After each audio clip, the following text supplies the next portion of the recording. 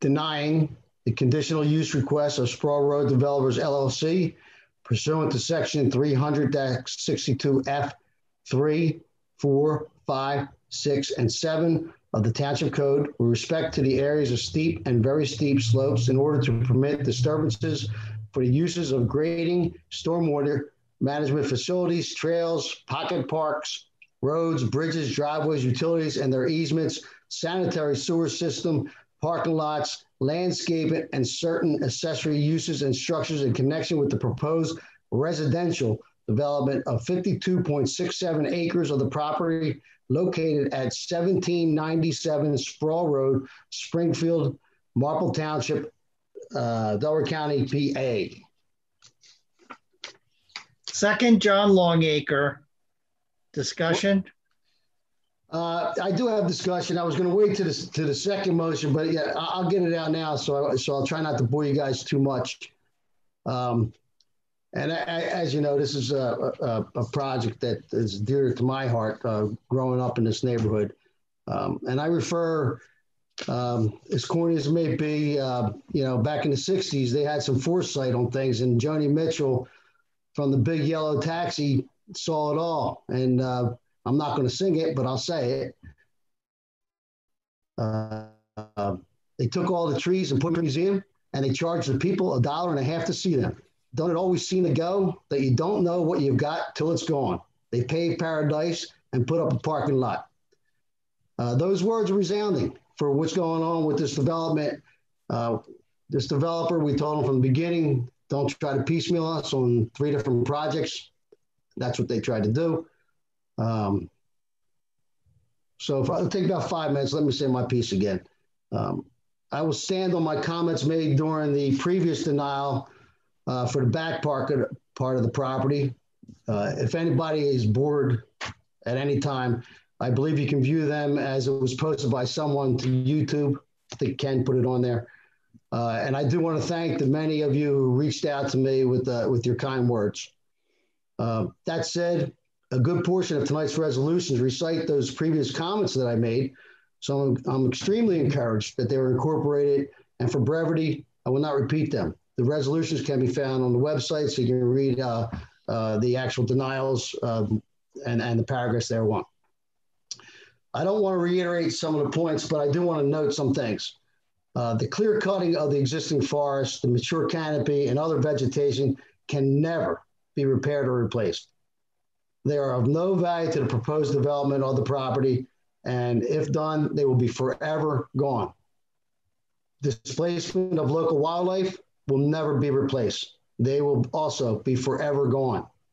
The natural flow and evolution of the waterways and ecosystem will forever be polluted, destroyed, and altered. It is our duty to indefinitely protect those woodlands, wildlife, and waterways for today, tomorrow, and the future.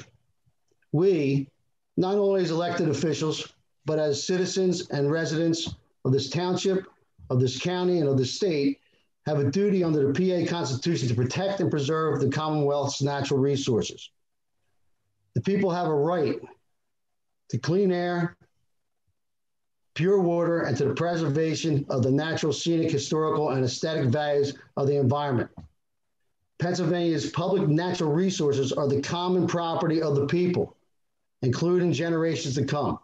As trustee of these resources, the Commonwealth shall conserve and maintain them for the benefit of all the people.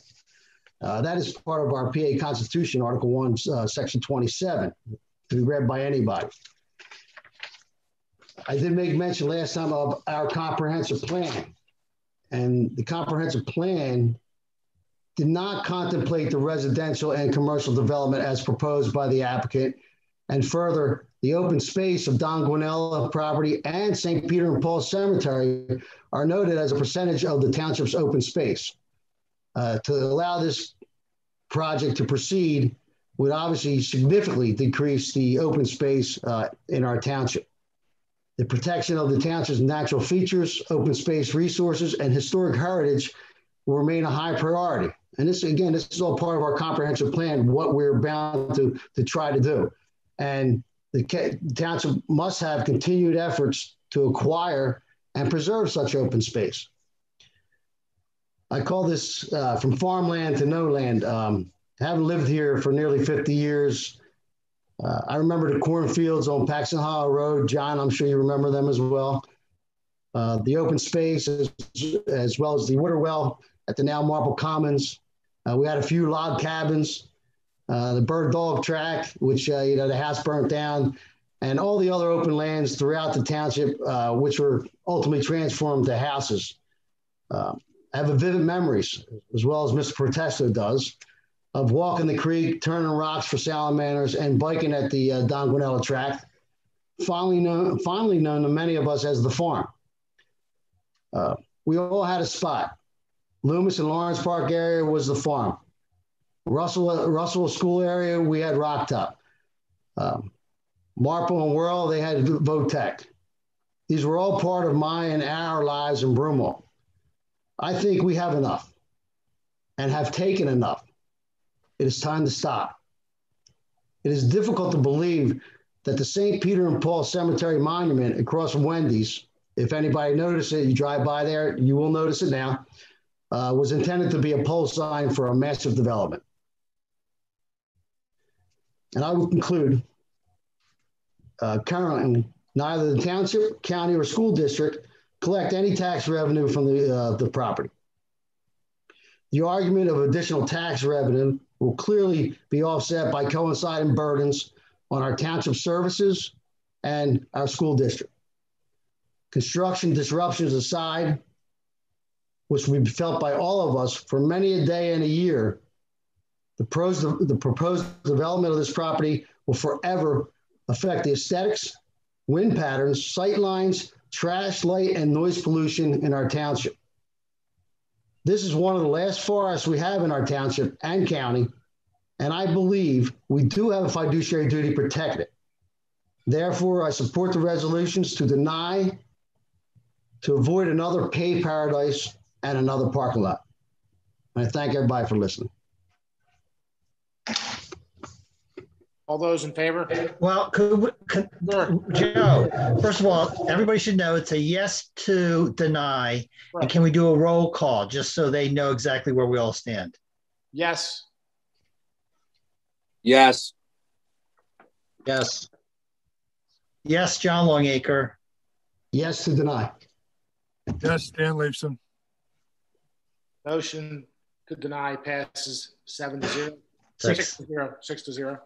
Uh, get a motion for number seven, please. Yes, I make a motion to adopt resolution number 6016 for the reasons therein stated, denying the conditional use request of Sproul Road Developers LLC, former Don Guanella site, pursuant to section 362F 3, 4, 5, 6, and 7 of the Township Code with respect to the areas of steep and very steep slopes in order to permit disturbances for the uses of grading, stormwater management facilities, trails, roads, driveways, sanitary sewer system, parking lots, and certain accessory uses in connection with the proposed mixed-use institutional development of 71.47 acres of the institutional, institutionally zoned portion of the property located at 1797 Sproul Road, Springfield, Marple Township, Delaware County, PA.